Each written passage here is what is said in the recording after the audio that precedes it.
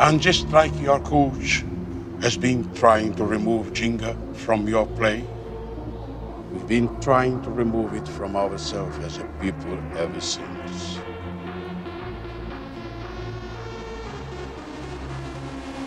But the Ginga's very strong in unity. So you can either show us what happens when you have the courage to embrace who you truly are.